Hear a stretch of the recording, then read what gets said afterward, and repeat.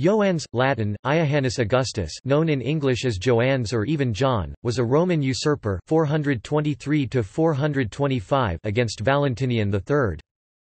On the death of the Emperor Honorius the 15th of August 423, Theodosius II, the remaining ruler of the House of Theodosius, hesitated in announcing his uncle's death. In the interregnum, Honorius's patrician at the time of his death, Castinus, elevated Joannes as emperor.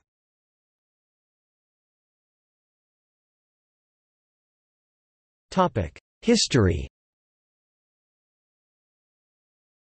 Joannes was a primicerius notariorum or senior civil servant at the time of his elevation.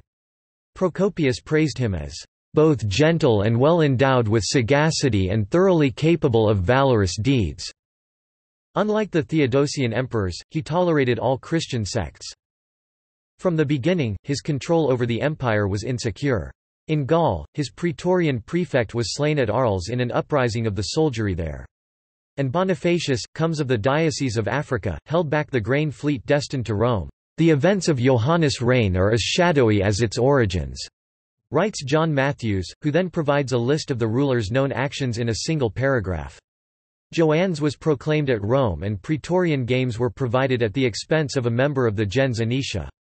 Joannes then moved his base of operations to Ravenna, knowing full well that the Eastern Empire would strike from that direction. There is a mention of an expedition against Africa, but its fate, presumed unsuccessful, is unrecorded. In Gaul, he appears to have caused offence by submitting clerics to secular courts. And that is all. Joannes had hoped that he could come to an agreement with the Eastern Emperor, but when Theodosius II elevated the young Valentinian III, first to Caesar, then to co-emperor as an Augustus undoubtedly influenced by Valentinian's mother Galla Placidia, he knew he could only expect war. Late in 424, he gave to one of his younger and most promising followers, Aetius, an important mission. Aetius, governor of the palace at the time, was sent to the Huns, with whom he had lived as a hostage earlier, to seek military help. While Aetius was away, the army of the Eastern Empire left Thessalonica for Italy, and soon camped in Aquileia.